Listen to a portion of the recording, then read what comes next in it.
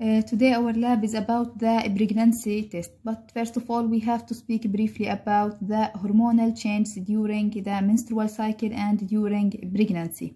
As you all know the reproductive system of women uh, shows regular cyclic monthly change which is regarded as periodic preparations for fertilization and pregnancy. The female sexual cycle can be divided into two phases the follicular phase during which one primordial follicles from ovaries is uh, growing uh, mostly. And the other phase is the luteal uh, phase which is the secretory uh, phase. Uh, as you know the, at childhood the female ovaries contain several primordial follicles which is arrested at the prophase stage. Uh, at puberty and under the effect of uh, anterior pituitary hormones LH luteinizing hormone and uh, FSH follicle stimulating hormone when primordial follicles start growing rapidly each month the growing follicle uh, start also secreting estrogen during the follicular uh, phase.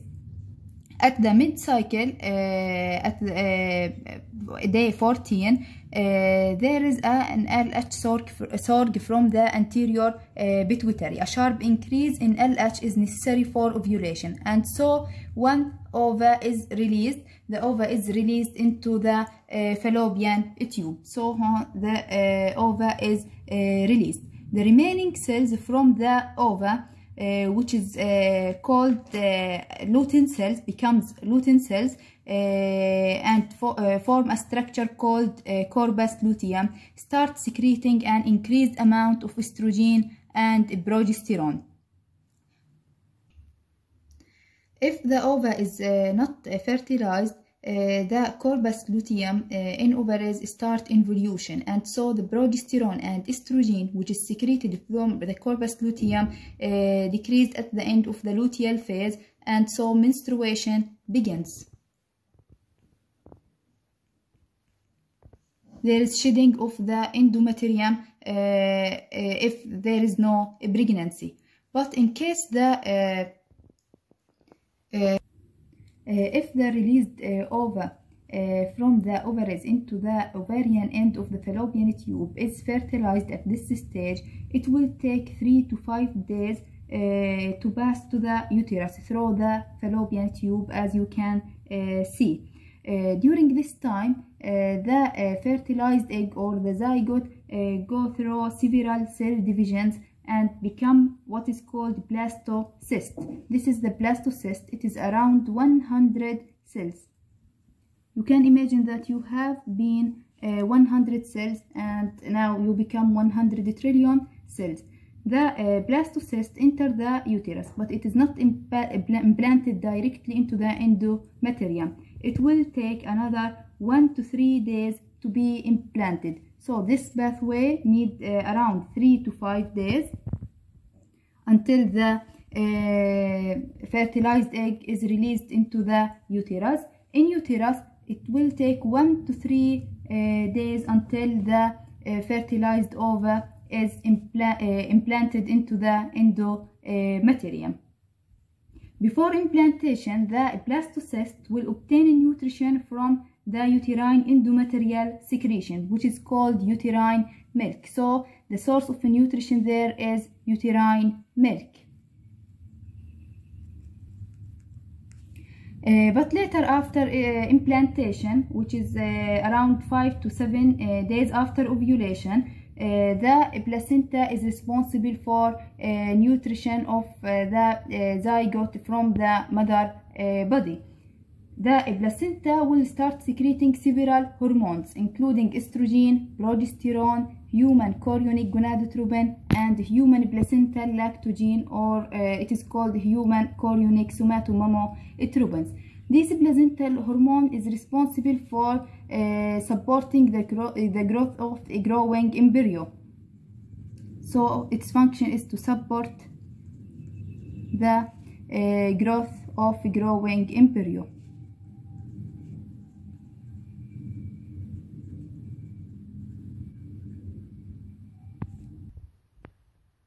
Uh, the ovarian hormones which are estrogen and progesterone Uh, that is produced uh, continuously from the corpus luteum uh, that is not involuted in case of fertilization and later the placental hormone will direct the maternal adaptation to maintain pregnancy and ensuring optimal conditions for fetal development.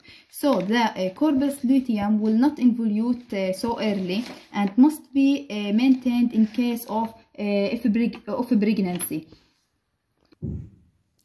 The secreted HCG from the placenta will support the presence of corpus luteum and prevent its involution and so the corpus luteum will continue secreting large amount of sex hormones estrogen and progesterone. And these hormones is responsible for preventing menstruation and maintain the growth of endometrium.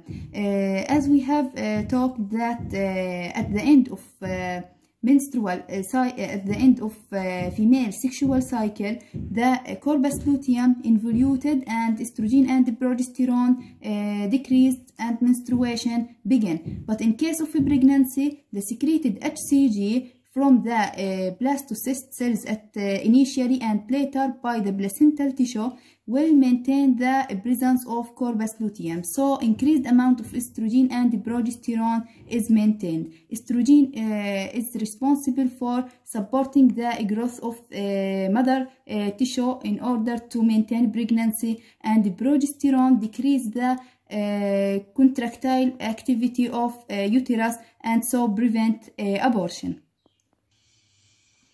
HCG uh, which means human chorionic gonadotropin uh, is released first from the trophoblastic cells uh, and can measured easily in the mother blood in around 10 days after ovulation. Uh, and so it is used uh, for the pregnancy uh, test as an indicator of pregnancy. this hormone and after implantation its secretion will rise rapidly and reach the maximum level around 10 to 12 week of gestation so البيك عندنا بتظهر على الأسبوع العاشر لل 12 of uh, gestation uh, then it will uh, decrease to a lower value by the 16 to 20 week of gestation وبيكمل على نفس هذا المستوى at the, to the end of the uh, pregnancy. uh, so ال HCG بيتم إفرازه بداية من ال syncytial trophoblastic cells and later by the placenta. تركيزه طبعا بي بيتفاوت طول فترة الحمل من الصفر لل 40 week of gestation. ال peak بتظهر على الأسبوع 10 ل 12 وبعد هيك بقل بالأسبوع ال 16 ل 20 وبيكمل على هذا المستوى. لاحظوا الاستروجين والبروجستيرون بداية بتم إنتاجها من ال corpus luteum اللي تم المحافظة عليه بإفراز ال HCG من ال placenta and later by the placenta itself. حكينا إيش وظيفة الاستروجين والبروجستيرون. آه هلا مبدأ الفحص إنه فحص ال pregnancy ان نقيس ال human chorionic gonadotropin وإيش وظيفته ال human chorionic gonadotropin هو مسؤول عن ال persistence of corpus luteum بمنع ال involution persistence of corpus luteum luteum and uh, prevent so prevent menstruation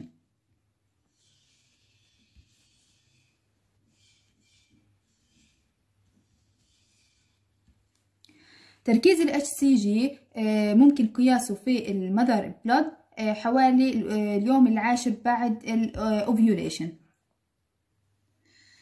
هلا فحص ال pregnancy بيعتمد إنه نعمل detection لل HCG اللي هو تركيزه أصلا normally عند ال non-pregnant أقل من ال non-pregnant أقل من خمسة international unit per mL ال pregnancy test بيقدر يعمل detection لل pregnancy test ممكن نعمله في عينة ال urine. وممكن ينعمل في عينة ال blood ال blood plasma أو blood serum حسب الفحص. ال blood serum وممكن الفحص نعمله في ال blood quantitative وممكن ينعمل qualitative quantitative وممكن ينعمل qualitative إحنا المطلوب منا نعرفه هو ال qualitative آه، مبين طبعا ال beta HCG هو عبارة عن glycoprotein لازم تعرفوا إنه هو glycoprotein بتكون من two subunits alpha أو beta subunits فاذا هو عبارة عن glycoprotein بتكون من two subunits alpha و beta subunit هلا هذا البرو... ال glycoprotein أو الهرمون بيتشابه مع other hormones هم ال TSH وال LH وال FSH هدول ال hormones كلهم مع ال beta HCG أو ال HCG بيتكونوا من two subunits alpha and beta. ال alpha subunit هي identical identical يعني نفسها موجودة بال four hormones بينما ال beta subunit هي المسؤولة عن ال physiological specificity بالنسبة لل HCG هو بيتشابه كثير مع ال LH باستثناء إنه في عليه زيادة تقريبا 30 amino acid بالتالي مبدأ الفحص رح يكون ال detection لل beta subunit beta ال HCG رح يظهر عندنا في ال mother blood circulation تقريبا على اليوم العاشر بعد ال ovulation وبعد هيك بتخلص منه الجسم في ال urine فممكن في وقت لاحق يظهر كمان في عينة ال urine. فال detection لإله رح يكون في ال blood في وقت أقرب من ال detection لإله في ال urine. الفحص ممكن ينعمل quantitative إن نقيس تركيز الهرمون بالضبط في ال mother circulation وهذا بيلزمنا إذا كنا بدنا نعرف ال ال quantitative test هو بيعطينا ال specific level of HCG في ال blood ويستخدم يعني الفحص ما بينعمل بشكل routinely. ال routine test هو ال qualitative test إذا بدنا نعرف هل هو positive ولا negative يعني هل عندنا pregnancy ولا لا. ال quantitative test بيلزمنا مرات إنه نعرف ال exact level of this hormone in the mother blood إذا كنا بدنا نحدد ال exact age of fetus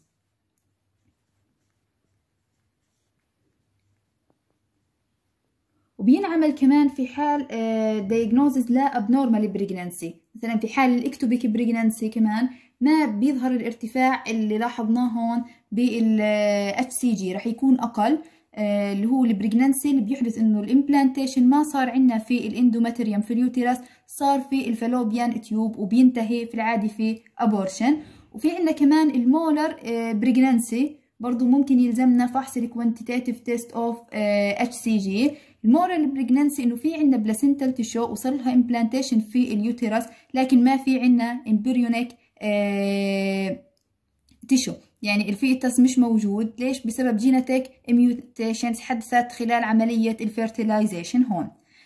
إحنا الفحص المطلوب منا هو ال qualitative test بيعطيني فقط إذا positive أو negative بيعطي نتيجة إيجابية. إذا كان تركيز الهرمون أعلى من خمسة وعشرين international unit per mL وإذا كانت أقل رح يعطينا negative result هلا إيش مبدأ الفحص اللي عندنا؟ الفحص هو سهل. عبارة عن كاسيت أو strips بتنشرى بيكون في منطقة هون بنسميها ال sample site أو sample place هون المكان اللي بنحط فيه العينة. سواء كانت العينة urine ولا سيرم لأن هون بيتم إضافة ال sample بحجم معين بيتحدد 2 drops 3 drops ال sample by capillary action تتحرك بهذا الاتجاه. by capillary action هلا في المنطقة هون اللي هي ما رح نكون شايفينها إحنا بنشوف فقط المنطقة المحاطة بالاحمر والمنطقة اللي فيها ال sample. في عندنا antibody 1 رح نسميه. antibody 1 هذا ال antibody بيرتبط على specific epitope على ال HCG اذا ال antibody 1 بيرتبط على ال HCG فهو antibody 1 رح يتكون HCG complex وهذا بنسميه إيش؟ mobile antibody mobile antibody يعني antibody بيتحرك. by capillary action ال complex اللي تكون عندنا من ال anti HCG اللي هو ال antibody 1 مع ال HCG hormone الموجود عندنا في ال sample بيكمل mobilization بيتحرك بهذا الاتجاه. هلا هون لاحظوا كتبت عندنا T معناها test و C معناها control آه في هاي المنطقة في عنا antibody 2 antibody 2 وهذا immobile antibody يعني ثابت ما بيتحرك. immobile antibody في حال كان في بالعينة HCG بيرتبط عليها ال antibody الأول وبيكمل بهذا الاتجاه وهون ال antibody 2 بيرتبط على other epitope على CG فكأنه هيك هذا CG لنفترض ارتبط عليه ال mobile antibody اللي هو الأول antibody 1 على other epitope يعني بمنطقة أخرى من ال antigen اللي هو CG بيرتبط ال antibody 2 اللي هو immobile antibody هذا ال reaction بيؤدي enzymatic reaction.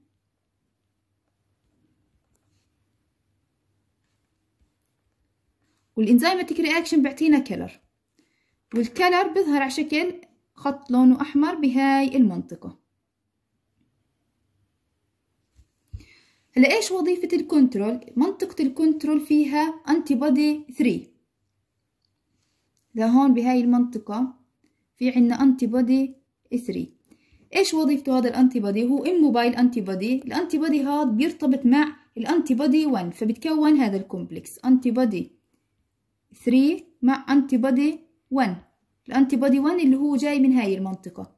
طبعا هون في كمية كبيرة من ال antibodies هون. جزء منها ارتبط مع الهرمون إذا كان موجود وجزء منها بكمل free antibody وإذا ما فيش هرمون رح يمشي by capillary action ال antibody free ال antibody 1 وال antibody 3 دائما موجودين في ال test فمجرد أنا ضفت ال sample سواء فيها HCG ولا ما فيها راح يحدث هذا ال reaction ويعمل لنا enzymatic reaction ويعطينا color فالهدف من وجود ال control line هو إني أنا أتأكد إنه ضفت ال sample أتأكد إنه ال sample كافية إنها توصل لنهاية ال strip وأتأكد إنه آه، الفحص شغال يعني. إنه ما في عندي مشكلة بال antibodies الموجودة في ال test strip آه، أو test cassette فال control line لازم إنه يظهر دائما إذا كان ال kit شغال صح وإذا أنا اشتغلت صح ضفت كمية آه، كافية من ال sample بحيث يستمر ال reaction لهون فطبعا يعني لازم إنه ال control تكون بعد ال test فالنتيجة راح تكون يا إما هيك هي النتيجة الأولى؟ لاحظوا ال reaction اللي هو بين ال antibody 1 وال antibody 3 وعمل enzymatic reaction وظهر الخط اللي عند ال control بينما الخط عند ال test مش موجود. فهون عندنا negative لل pregnancy negative pregnancy إنه النتيجة سلبية. not آه pregnant أو ممكن إنها تكون early stage of pregnancy يعني تركيز الهرمون لسه ما ارتفع. بشكل كافي إنه ال test يقدر يعمل له detection لأنه بيعمل detection أكثر من 25 النتيجة الثانية ممكن تحدث هي ال positive result positive pregnancy positive pregnancy أكيد رح يظهر عندنا ال control line إنه الفحص شغال وعندنا ال sample تم إضافتها اللي هو ناتج عن ال reaction بين ال antibody 3 وال antibody 1 فلازم إنه يظهر ال control line وال test line كمان رح يظهر ناتج عن وجود ال HCG وال reaction هذا اللي هون. هلا ممكن يظهر عندنا نتيجة ثالثة إنه ال C line اللي هو ال control ما أعطى reaction وال test line أعطى reaction بهاي الحالة معناها invalid test.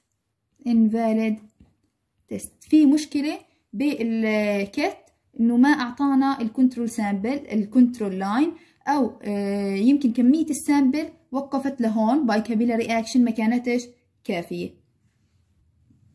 وكمان برضو بنعتبره invalid test في حال ظل ال window بدون أي lines آه، ما فيش lines يعني ما فيش عندنا نتيجة لا لل control ولا لل test وهيك أنا ما بقدر أحكم هل العينة positive ولا negative لازم أعيد الفحص.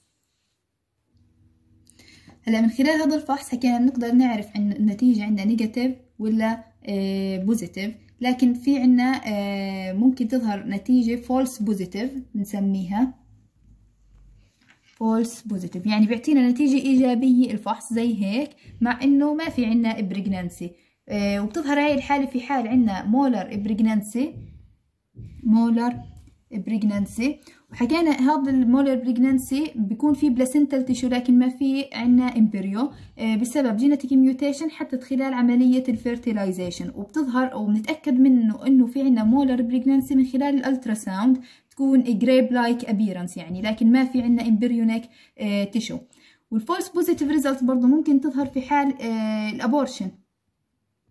ال abortion هون بتظهر أهمية إني أعمل ال quantitative test واقيس تركيز الهرمون وأربطه by week من ال gestation ال pregnant عندي أنا موجود. ال false ممكن تظهر كمان عندنا false negative result وهي بتظهر يعني كثير حالات. بسبب إيش؟ early pregnancy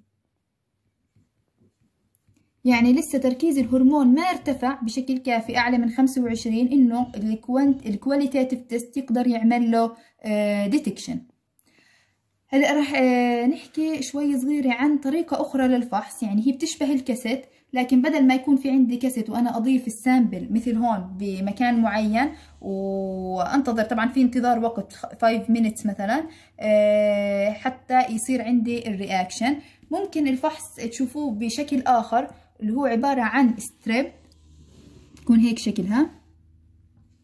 وبكون في line هون وفي عليها هون زي أسهم. ببعث لكم صورة على الجروب. آه ال sample بحطها عندي في test tube test tube آه صغير يعني بلاستيك بيكون حكي لي مثلا أضيف هون مثلا 200 آه microliter من السيرم باجي بدخل ال strip هون. بخليها موجودة مثلا خمس دقائق بحيث طبعا إنه ال sample ما تتجاوز هذا الخط.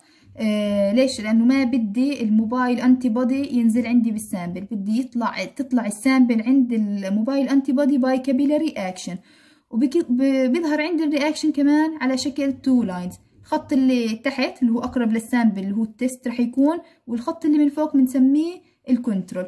آه وبينقرأ بنفس طريقة الكاسيت. بس هي إنه شكل ثاني ممكن تشوفوه للفحص آه ببعث لكم آه صور على ال group وان شاء الله إنكم تفهموا على الشرح. وإذا في أي شيء مش مفهوم نقدر نعيده.